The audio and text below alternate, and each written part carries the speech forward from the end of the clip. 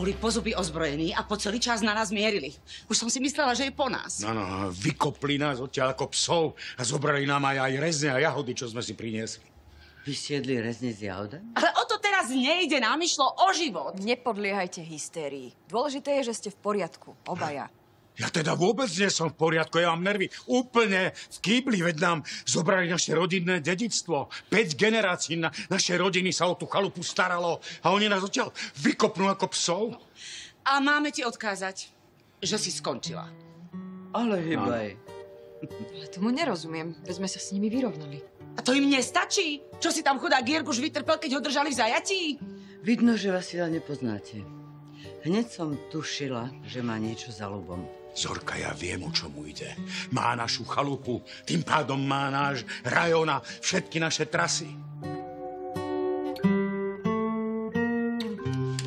Dedo, dedo, dedo, kúkaj tu.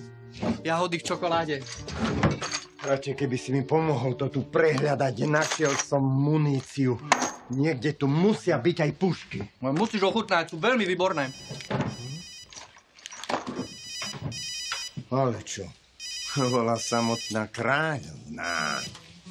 Vedel som, že zavoláš. Čo tu robíš? Čo? Máme problém? Veľký. Ako si si dovolil obsadiť moje územie? Tvoje územie?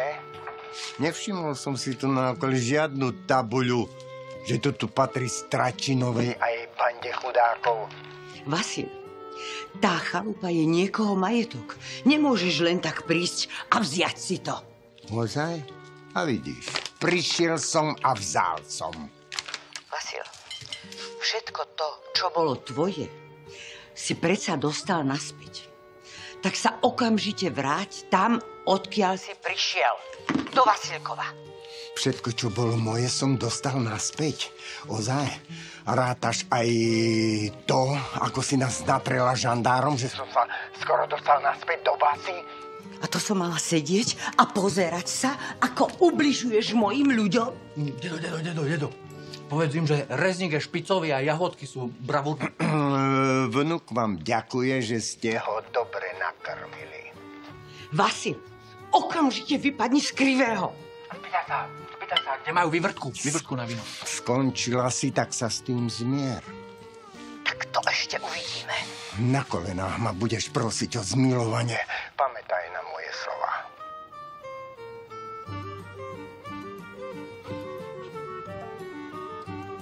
Sviniar, Čo povedal? zavolaj Emila. Chce vojnu? Bude mať vojnu.